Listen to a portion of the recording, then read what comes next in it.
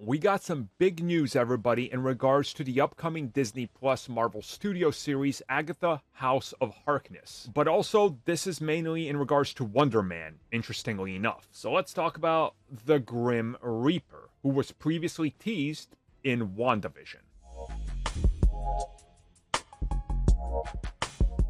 For a while there, all the WandaVision theories were flipping between either Mephisto or the Grim Reaper.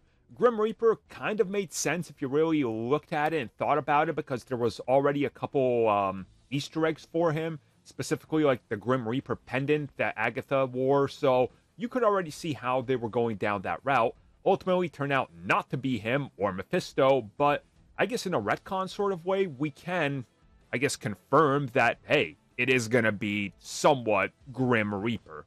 Because recently, as it was confirmed by TV Line, Fear the Walking Dead and Apple TV's swagger actor, Demetrius Grus, hopefully I said that right, has joined the cast of, okay, get this, Wonder Man as Grim Reaper.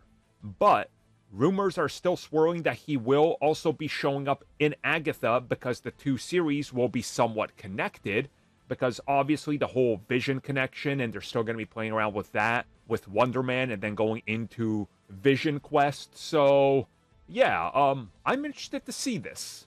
I just really want to see how all these shows are going to be connected because they've been teasing that there's going to be where there are natural connections to be made, natural crossovers, and things that kind of uh, have a ripple effect. So now you're sort of starting to see how these things could connect to one another and how they can make each one seem a little bit more important and interconnected to the other moving pieces, which I think they did a good enough job so far. But I think little and small moments like this and characters will be rather important and big as the MCU continues to grow and gets bigger and all that. So I'm excited. Um, I've been interested to seeing how they're going to handle Grim Reaper, and I just hope that they can follow some of the, I guess, things that the comic does, and also give us that outfit wherever he shows up first it's going to be interesting to see what happens. So uh, get excited if you're fans of Grim Reaper, all three of you.